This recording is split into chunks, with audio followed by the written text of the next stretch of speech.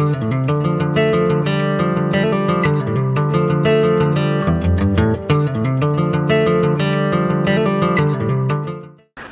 Semana, Silmar, bem complicada de mercado. O dólar bateu aí recordes, né? R$ 4,13. Isso complicou muito a vida do produtor de café, que está muito otimista com a florada que está linda, né? Hoje a gente já não está com o cafezal tão branquinho como vocês viram aí na matéria das visitas da missão internacional que esteve em Muzambinho, mas está muito bonito e aqui a gente já pode ver, ó, tá vingando as flores. Isso é muito importante, muito positivo.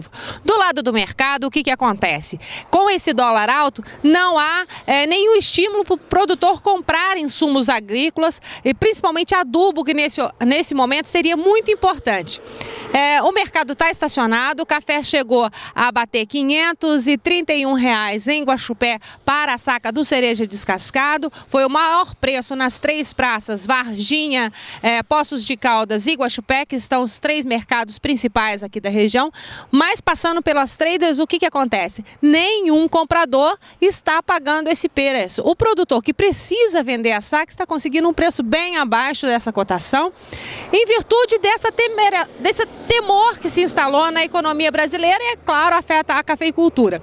Nesta quinta e nesta sexta-feira, o mercado foi muito é, tranquilo, muito estável, retração. Muitos produtores aqui da região estão em Belo Horizonte por conta da Semana Internacional do Café, onde foi lançado aí o Com Café, que é uma esperança, uma luzinha lá no final do túnel. Enquanto isso, o mercado internacional está muito ávido por cafés especiais e as fazendas recebendo aí muitas é, propostas e muita gente querendo vir conhecer os cafezais. Então, mais do que nunca, o mercado de cafés especiais está aquecido e, em contrapartida, o produtor do café é, bebida corrida, como a gente diz aqui, ainda está pagando um preço muito alto. Essa não foi uma boa semana para a cafeicultura aqui no sul de Minas. Na próxima semana nós voltamos esperando que esse dólar recue, né, que ele já deu um passo atrás, mas que ele recue ainda mais e que a cafeicultura possa respirar um pouco mais. No final do programa, hoje o Tobias fez uma surpresa muito grande, porque eu prometi que ia trazer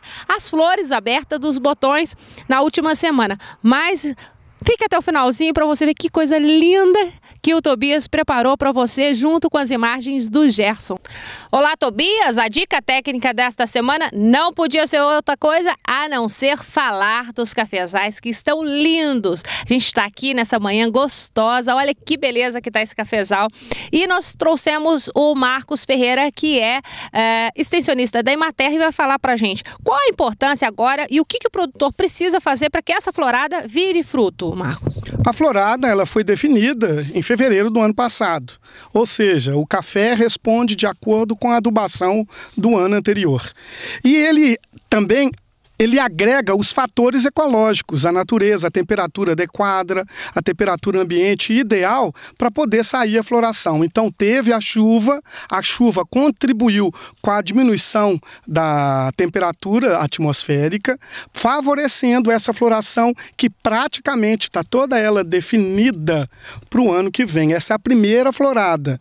Nós temos aí mais duas floradas, mas essa que veio agora, ela vem uma florada bonita. Então nós vamos ter um café viçoso, um café bem harmônico na safra do ano seguinte. Você acabou de tirar aí uma jataí, que é aquela abelhinha bem pequenininha que vem para a florada. Isso é um bom sinal de que as flores realmente estão carregadas de pólen, estão com uma uh, fertilidade grande?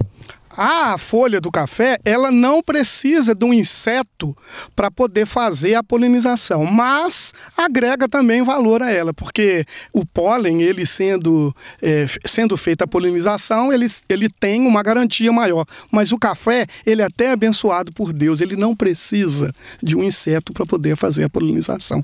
Para 2016, a safra vem uma boa safra por aí, de acordo com essa florada? Muzambinho é uma terra abençoada por Deus e pelas nossas mãos. Então, ou seja, eu só posso falar da produção de Muzambinho, porque Deus contribuiu em tudo para essa cidade. Veio a chuva no momento certo e a temperatura amena no momento ideal. Então, o café está nos respondendo. Ok? E lembrando, Tobias, que a gente aí já conversou é, com técnicos também de outras cidades. Aqui no sul de Minas, a primeira florada foi maravilhosa, pegou realmente e esperar aí para 2016 uma boa safra da cafeicultura, que como o Marcos disse, foi realmente abençoada. Pena que aí você não consegue sentir o aroma dessa florada. Até quarta que vem.